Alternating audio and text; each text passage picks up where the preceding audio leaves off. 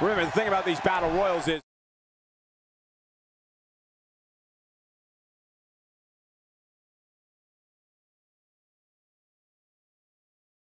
you can work together all you want, but in the end, it's every man for himself. Yeah, but somewhere along the lines, it doesn't hurt to form a few alliances.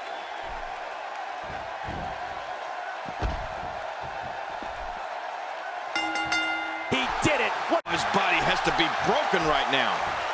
Oh, Roman Reigns may have it. Oh, no. We know what this is. Attitude adjustment. John Cena's got this one now. John Cena has done it again. Nobody gets up after the AA. Shoulders down. Championship on the line. It's safe to say just about what a huge win.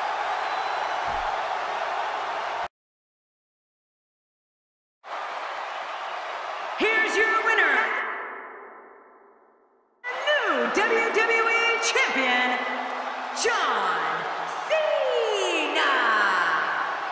And that's a huge win for this guy. This win is exactly why so many superstars